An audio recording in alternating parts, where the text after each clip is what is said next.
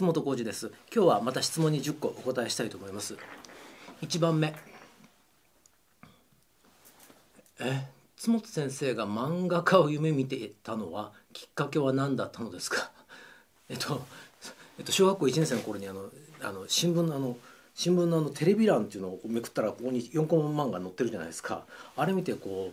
うなんかこう毎日毎朝ちょっとだけ笑えるのいいなと思って。で朝日小学生新聞っていうのを取ったんですよ。3年生か4年生の頃に。であの4コマ漫画書いてみようって書いてなんか応募するのがあって。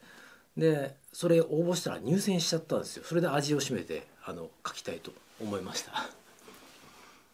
あでもねね10年前の2014年に私その夢を叶えてます。あのえっ、ー、と音楽えギタリストのための作曲講座とかいう本を新興さんから出してるんですよ。その中で4コマ漫画を全項目につけてます。何十個も書いてます。あれ全部私が本当にあの鉛筆で書いたやつです、はい、ぜひもうあ別にこれ私に印税あんまり入ってこないんであれですけど、はい、あのなんかメルカリで中古で売ってたら買っても買ってください。でもあのあの講座自体はマジなんで、はい、本自体は1か月ぐらいで書きましたけど漫画はもう数ヶ月かけて書きました私の夢が叶った力作です。2番目。ルーパーでおすすめはございますか？あのボスとかのやつで十分だと思いますけどね。ルーパールーパーなんで別に、うん、何でもいいんじゃないですか。そんな長時間ループする必要もないでしょうしね。3番目。同じコンセントからアンプとデジタルエフェクターの電源を取るとノイズが出ることがあるのですが解決方法はありますでしょうか？もうご家庭のコンセントだったらしょうがないですよね。私もそれがあるからえっとねこのここのここのコンセントは普通なんです。けどこっから前の電源はアイソレート電源って言ってここのこの中になんかもう冷蔵庫みたいなでっかい機械が入ってるんですよ。であの東京電力とかな何電力か忘れましたけどからのその電気ってもう普通に100ボルトなんて来てないんですよね。なんかもう中途半端なもう90何ボルトとか。であのよよくあるじゃないですかあのお母さんが掃除機かけ始めたらちょっと電球がファッと暗くなるとかあの近所でなんか大きなあの工事が始まったらこうちょっと家全体がわっと暗くなったりとかああいうのが起こるのでそんなんにならないようにいっぺんこっちに来た電気をこう生成してやるようなこと私は詳しくないんですけどような機械をドーンとそこにつけてますそれをプロのスタジオとかはこういうスタジオとかはあの必ずつけるものなんですね。えーででもご自宅ではそれ無理なのであのあれしたらいいんじゃないですかあのノイズサプレッサーでごまかすしかないんじゃないでしょうかね。4番目。カフェイン摂取で精神的に高揚した状態でのギターの練習や演奏はどう思われますか？これは良くないんじゃないですかね。これに依存してしまうとその先になんかタバコタバコならいいですけどなんか変な薬物になると思いますんでやめた方がいいと思います。5番目毎日の練集中力で練習え？毎日最高の練集中力で練習するにはどうしたらいいですか？えっとねうーとであのあれえー、チクセントミハイの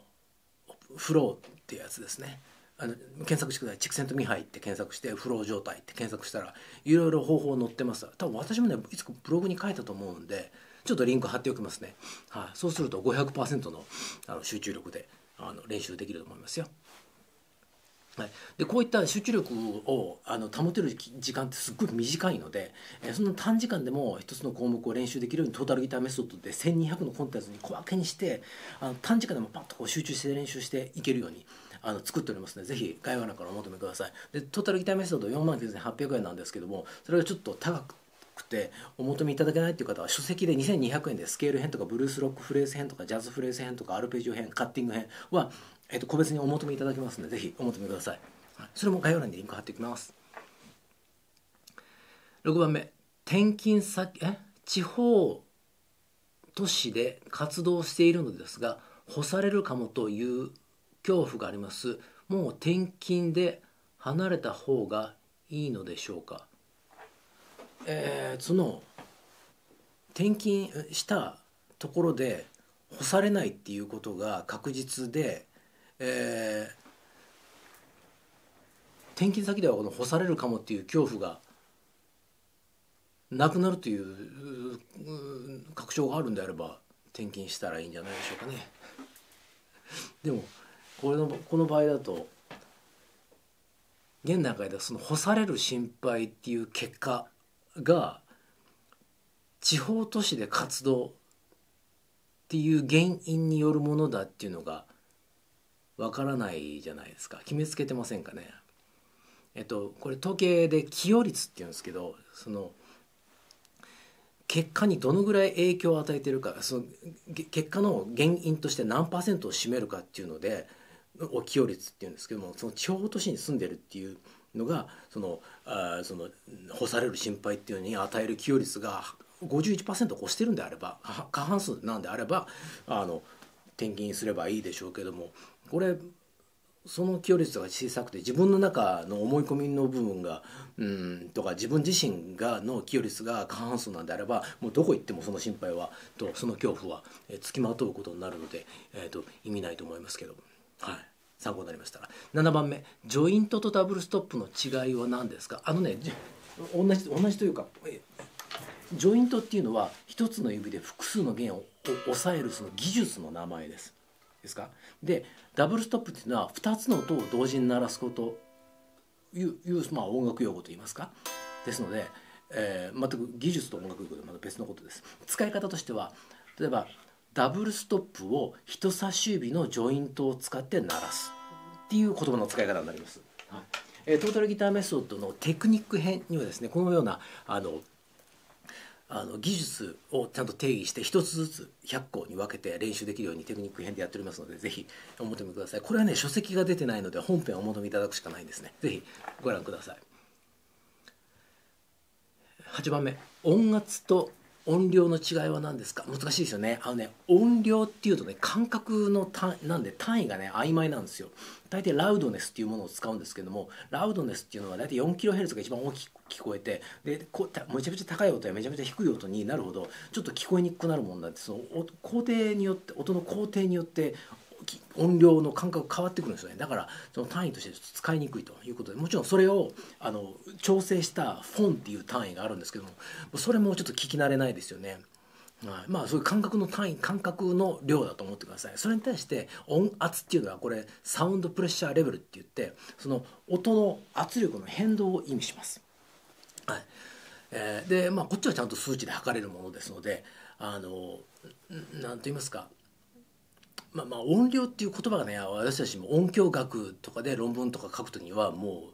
う一番避けたい言葉なんですよ。だから私も、えっと、音量って打つとあのお化けの方の音量あるじゃないですか。あれが変換されて出てくるようにわざわざ設定してます。あの間違えて書かないように。そのぐらいあの使うの難しい言葉ですね、はい、9番目筋トレを習慣にするにはどうすればいいでしょうか？寝落ちする寸前に筋トレ忘れてたことに気づくことが結構あります。時間を決めておくかなんかねトリガー項目を決めるかなんかトリガー項目で毎回毎日やるやつことの前にやるようにしたらいかがですか。私今16時から必ず筋トレとランニングはするようにしてますけど、えっと、17時から必ず銭湯にドボンって入るんですね。でもう週もうこれ私小銭入れなんですけどここにあの東京都の共通のなんかこの入浴券っていうのがあるんですよ で、えっと、必ず16時になったらこの結婚指輪をここの輪ゴムのとこに挟んででこういう状態にしてで財布の中入れてで筋トレなんやかんやして走ってでそのこの券1枚渡す時に指輪はめ直してで1枚渡してお風呂に入るっていう一連の流れなので忘れるってことがありえないんですよね。忘れるってことはお風呂入るの忘れるぐらいのことになるんでそういった感じで何かと何かのいつもの習慣とくっつけてやっておけば忘れることないんじゃないですかね。はい、そういったいろんなことをですねあの音楽家の思考を実現するための本ちょっとこじつけもいいところですけど、はい、あの出しておりますのでぜひお求めください。概要欄から。こっちは音楽家の資産形成術っていう本。これも、えー、好評発売中でございます。今今というか今年はあのその音楽家の,、まあその思考だとかお金とかじゃなくてそのちょっと時間管理人生管理にちょっと人生をかけようと思っていろいろあの今いろいろなんか何どうやってどんな本書いたらいいかなって考えてる最中なんですけどもお役に立てる本を書きたいと思いますのでぜひちょっとこっちで練習しておいてください。これ50のワーク50のワークです。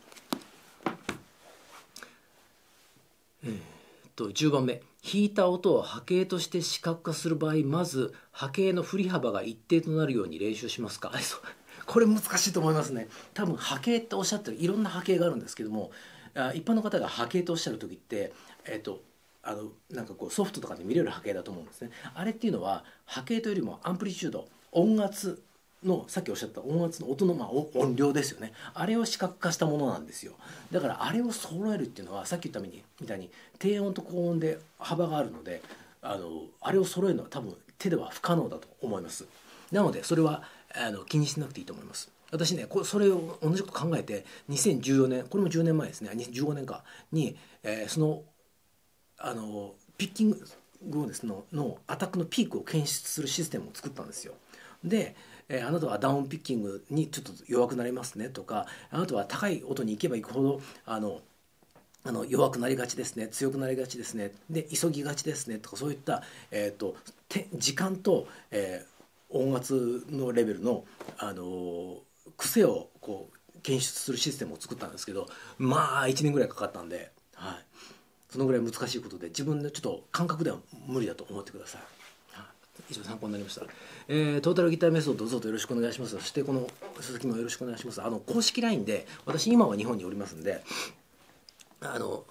今月いっぱいは日本におりあの2024年の1月なんですけど、えー、日本におりますんで公式 LINE であの個人面談っていうのをなんか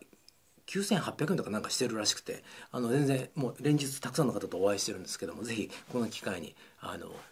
なんか質問とかしに会いに来てください。東京です。よろしくお願いします。ご視聴ありがとうございました。チャンネル登録よろしくお願いします。